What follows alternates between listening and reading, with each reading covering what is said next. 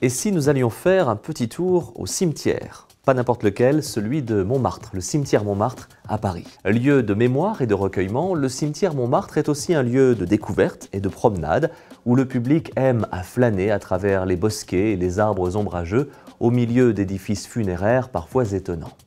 Voulu par Napoléon Ier, le cimetière Montmartre ne sera pourtant inauguré qu'en 1825 sous le règne de Charles X.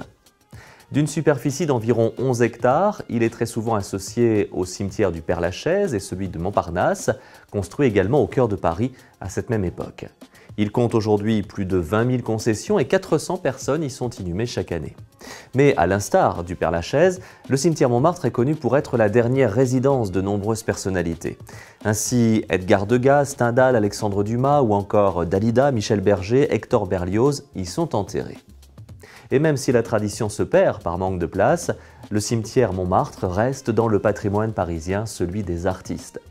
Avec plus d'une trentaine de divisions, ce lieu très boisé au relief tortueux accueille de nombreux visiteurs tout au long de l'année et propose d'intéressantes visites guidées.